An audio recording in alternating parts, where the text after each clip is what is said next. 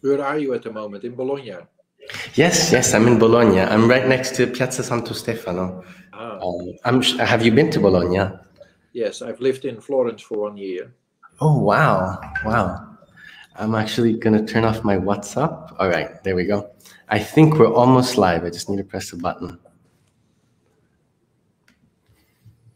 Oh okay, there we go. Good afternoon, everyone. Um, I, I'm sure all of you already read um, Professor Schot's Wikipedia page. So I'm just going to say two or three things. Um, he, he's published about more than 20 books, I believe. Um, maybe something like 15 to 30, I'm not sure, but I saw a few of them. uh, um, countless articles. And um, today we're here to talk about his book, Writing the Rules for Europe.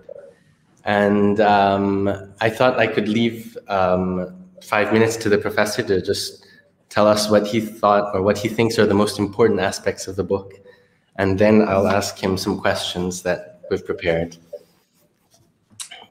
Okay. Um, well, the book tries to understand why the European integration process is so technocratic. And it uh, uncovers, reveals a route uh, coming from the 19th century uh, when engineers and experts had to think about how to build knowledge infrastructures and uh, well hardware infrastructures like railways. And uh, they designed a specific method to do international relations which is called technocratic internationalism with a specific role for experts and this was experimented with uh, by the league of nations and heavily influenced the construction of the European Union, uh, but also uh, the UN for that for that matter, and many international organizations. Uh, so we have developed a specific way of doing international relations in the 19th and 20th century, and I also contend that this uh, approach is not sufficient for dealing, addressing the current global challenges as expressed in the SDGs, and for example, climate change. So we need to rethink how we globally or regionally, like in Europe, collaborate. Uh, that's perhaps my summary. Wow, perfect. It's very difficult to find people who are able to um, concentrate their ideas in very few phases. So that was great. Thank you. Um, so maybe our first question, perhaps, would be um, on on that on hidden integration. I think is what you uh, called it in your book. Yes, so, um, oh, what do you think are the most pivotal aspects of the hidden integration that um, are not explained by the more um, state-focused or institutional? I'm not sure if I could say institutional. Institution, as in uh, nation states yeah. um, focused approach because your approach is almost uh, I'm not sure if I could call it a procedural approach, but it's uh, it's it's different in that sense. And um, um, there is a second question to it, but I'll ask you after your, your answer. Okay, the hidden integration. The word hidden refers to two points. Uh, one is the fact that these experts themselves thought that they can better better do business outside uh, the, the, the, the politics of nation state. So they wanted to create spaces in which they could negotiate mundane things like how to build European railways, how to build European communication networks, energy networks, knowledge infrastructures, because they thought that uh, diplomats, specifically from the Foreign Office, and uh, politicians, but also the wider public, would distort the kind of independent, neutral, science driven process. So, hidden speaks to their ideology. Uh, it also speaks to the fact that for the currently for the wider public, this process is indeed not very visible. It's invisible. Uh, so, uh, and we can question whether that is uh, desirable. Let me also say that I, I'm not thinking that uh, I am uh, thinking that technocracy is necessary. So we need experts, and it's not like we don't need experts. So it's not a it's not a, a rallying cry against expertise at all. But we need to think about the boundary, how to construct the boundary between democracy and technocracy. And so the follow-up question would be um, if you could give us some examples outside of the realm of uh, steel and railroads, um, some examples of important rules that you you um, observed, and uh, uh I'm not sure if I could put it an alternative example. I could say perhaps. Well, the, the most recent example is the euro. You know, the euro is is run by uh, banks, uh, and how they do it is, is not influenced politically. So uh, the construction of the, the euro is one of the latest examples. But also in the food area, we have many uh, European food standards that nation states need to uh, apply. Uh, so in general, if you look at energy, transport, uh, water management, many of these areas, there are uh, European protocols or standards. And uh, so rules uh, refers to standards, but also refers to the notion of institution, because one definition of institution is it's a, a, set of rules that constructs action, that shapes action of people. So the idea is that the kind of agreements that these experts make uh, really have uh, built a European space, a European governance structure with regulatory rules, but also a European identity partly, because they allowed, for example, if you build a railway network across Europe, you allow people to travel and to explore and develop a certain type of identity. They also call Europe or European. Yeah. Um, uh, it's very interesting as well because um, wh while you're reading your book, I also thought of uh, transparency in. Uh, um, I, I, tried to think of the Italian uh, legislative procedure and the European legislative procedure, and uh, it's so much easier now to um, uh, see what actually happens during the European legislative procedure and so I think things have gotten better because, like, for example, in Italy, to access some documents, I always, uh, we would need to send different requests and uh, pass through administrative legal procedures. So I think things have gotten better. I hope so. Um, and um, so, well, actually, maybe not for the Eurogroup. Um, I'm thinking perhaps of our last guest, uh, Martin Heipertz, who talked about the um, the SG, oh, this SGP, which is the, st the Stability Pact, the Stability and Growth Pact. And it's true that a lot of uh, um, the legal procedures and a lot of the decisions are, are made behind closed doors. But um, it was very interesting to think about how things have changed or perhaps haven't changed. Um, can, if I may comment, if you look at the structure of the European decision making, at the heart of it is the European Commission. The European Commission consists of a set of experts. These are people who should give up their national uh, identity and act as an expert in the commission. And this commission is similar to what engineers were thinking about, is bringing a set of experts who bring an optimal solution.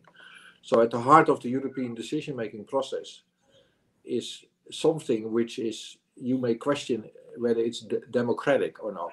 Of course. Uh, uh, and I, I I do value, let me say, because uh, often my work, to some people think I'm anti-EU. I'm not. I'm pro-EU. No, yeah, yeah, it's very clear actually. I believe it's pretty clear in your book that you're yeah. pro-EU.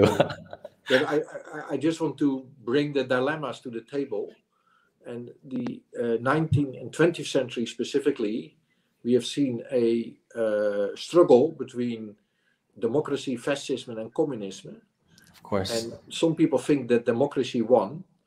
Uh, I'm not so sure, given the recent developments. But uh, at, at the same time, uh, we never talk about technocracy. And technocracy was the fourth important uh, stream of thinking that really has influenced how we have shaped societies. Uh, so my book is about making visible technocracy as a separate uh, practice and ideology. Um, I was also thinking of the trilogues, which aren't really that transparent. So there, there are actually a lot of aspects in, uh, in the European institutions that aren't very transparent. So without a doubt, that, that is an important point. Um, so uh, our next question comes from uh, a friend of mine, and he was wondering how, um, how could I put it? I'm just going to read what, what he says. Um, so in terms of further integration, what are the pros and cons of these uh, these these closed decisions or these nudges? So, because um, your book uh, explores, um, it's a, it says that it explores like a, a 200 year period, if I'm not mistaken, and um, um you draw some parallelisms with uh, the the short uh, the short century, I believe. And um, so we were wondering if you could uh, tell us what, what you thought were some of the positive or perhaps negative aspects for further integration. Um, I'm not sure if my question was clear. Well, the, the, the big problem of the integration process is that it was built on this uh, technocratic idea that we do decision making in a certain way, which meant that wider publics never could build up a relationship with the European Union because in a way they were not integrated and that was on purpose because for example agriculture policy was decided by a set of experts in Brussels without you know having wider publics involved.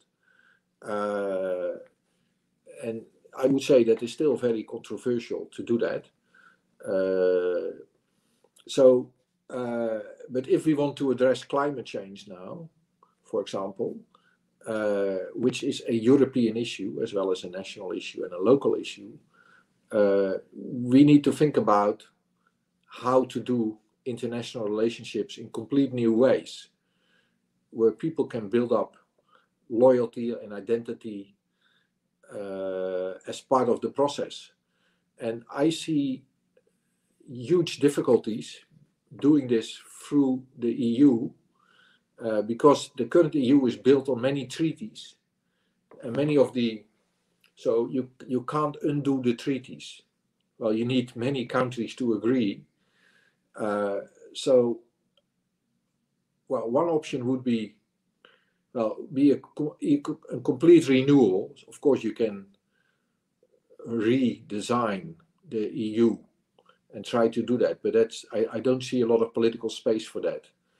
Uh, so I think the best option is for the EU to limit its ambitions and try to connect with underlying processes of Europe, uh, Europeanization. And it partly does that. So there is, for example, there are attempts to build networks across cities. So cities collaborating across Europe and uh, and these cities uh, they they involve their citizens.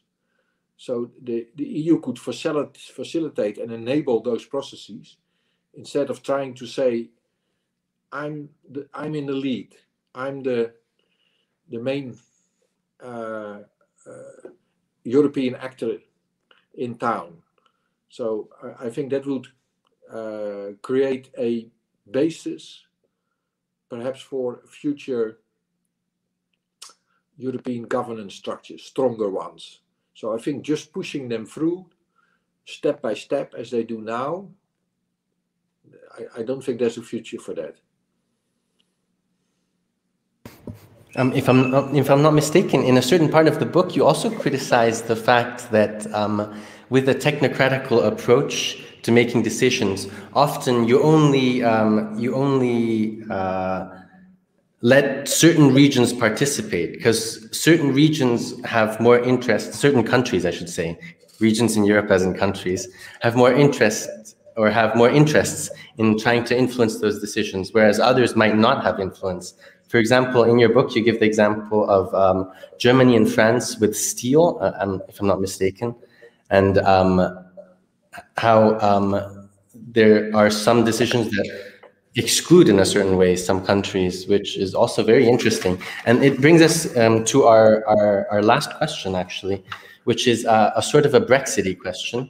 And it, it's, um, it, it, asks whether, let's see if I can sum it up in a more um, condensed way, um, whether um, taking your vision of uh, a light or a hybrid version of, uh, of integration, as in uh, not a heavy version with the state states and uh, institutions, whether you think that Brexit could be explained through this lens, as in um, if if we could have predicted in a certain way, or if if if this could be explained through this lens. I'm not sure if it's clear. Well, Brexit is, uh, I think, a result of uh, neoliberal policies in the UK, which led to a lot of regional division and many people were left behind. So the cause of Brexit has nothing to do with the European Union, uh, but politicians, what they did were channeling the unrest towards the EU as if the EU was responsible for all the negative uh, consequences. Of course, in the UK, there's also the kind of idea that they can be there's an alternative that they build their own empire, which they did in the past and still think they can still do. Uh, so that's another part of the explanation. But in any case, uh, I think the causes of Brexit are not directly related to the European integration, but Europe can be blamed. And of course, that blame game is going on in many countries. But the fact that this can happen is a result of the way the decision making is structured. So, uh, and I think it will continue to happen. Uh, so, uh, it's difficult uh, uh, because, on the one hand, we need new big ambitions to address these these challenges. On the other hand, we are stuck with a decision making structure which generates problems. And uh, one other solution could be that uh, that we move ahead with some of the countries, because what we have done, we have invested more in broadening than in deepening. So we have invested more in including more countries, and the EU was even entertaining the Ukraine and other countries, which was not a very good decision, yeah. I think. But uh, so to say, okay, with for certain topics, with a certain set of countries, we go further. And some countries can join, others can decide not to join. Uh, but if I were the EU, I would also allow, as I say, other groupings to generate European spaces. And uh, without trying to control this through the EU.